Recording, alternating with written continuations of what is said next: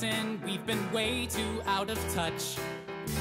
Things have been crazy, and it sucks that we don't talk that much. But I should tell you that I think of you each night. I rub my nipples and start moaning with delight.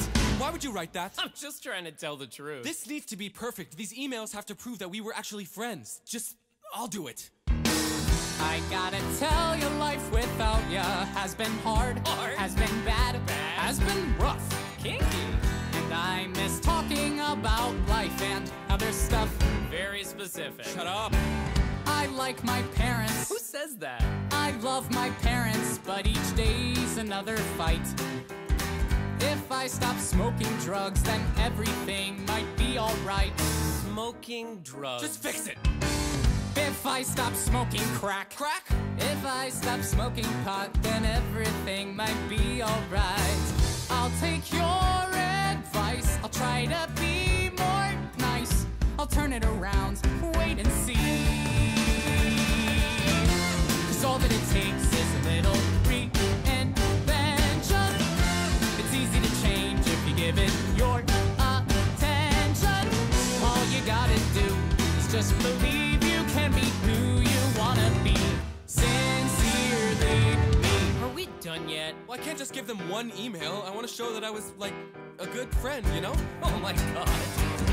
Dear Connor Murphy, yes, I also miss our talks. Stop doing drugs, just try to take deep breaths and go on walks. No. I'm sending pictures of the most amazing trees. Be obsessed with all my forest expertise. Absolutely not. Dude, I'm proud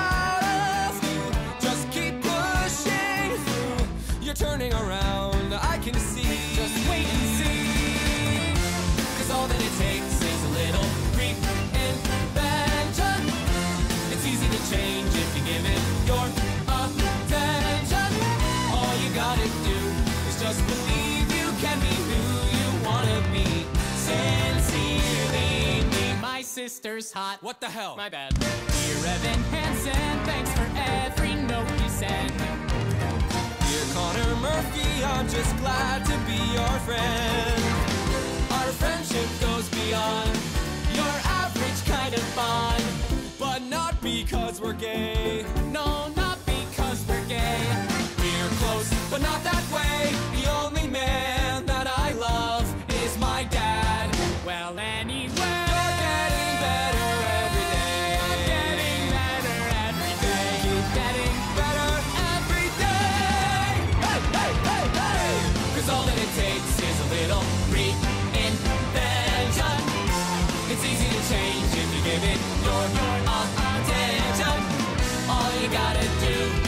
Believe you can be who you wanna be.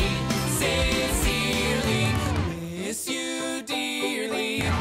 Sincerely me. Sincerely me. Sincerely.